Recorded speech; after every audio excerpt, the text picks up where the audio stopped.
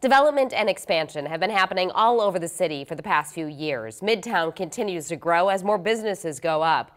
But with those changes come new concerns from some business owners who say the new developments are affecting their business. 3 News Now reporter Sydney Gray has a look at how. Dodge Street in Midtown, one of the busiest areas in the city. All that traffic, a big plus for restaurant owner Nick Triantafilu.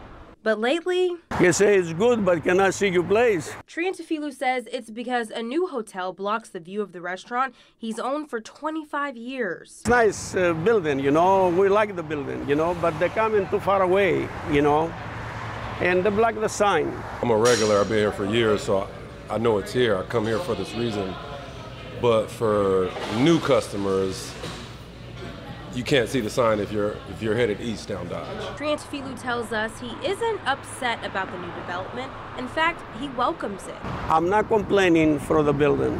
I I just I want to give me little opportunity for me to have five six foot sign. You know what I mean? The building is beautiful. It's nice. The issue he does have his business sign getting lost behind all the new development. And right now, he's in talks with the city's planning and inspections department to get a new sign built. We've just obtained a permit from the city of Omaha to erect a gorilla down on the east end of the property so it's a little more visible for the eastbound traffic. Triantafilu tells us his sales have gone down about 20% since the building went up five months ago. But once construction wraps and his new gorilla sign goes up, he says he's optimistic business will go back to normal. When I ask him too much, really.